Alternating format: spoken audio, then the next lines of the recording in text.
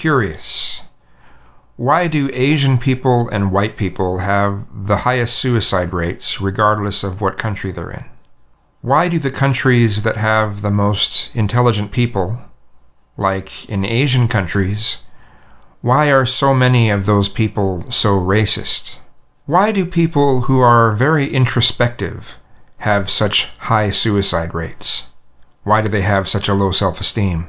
Why do those who look, act, and dress like what their culture tries to dictate, and they seem to have no problem with it, why do those people have low suicide rates? Why do people who strut around as if they're the ultimate gift to the world have really low suicide rates, while the people who don't try to act and dress the way that their culture tries to dictate have high suicide rates? Why do people who act mostly according to their animal instincts have such a good self esteem? While those who try to put a lot of thought into their actions and words have a low self esteem?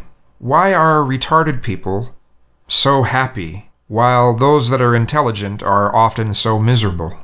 Why do retarded people almost always have a really good self esteem while intelligent people often have a terrible self esteem? Why is that?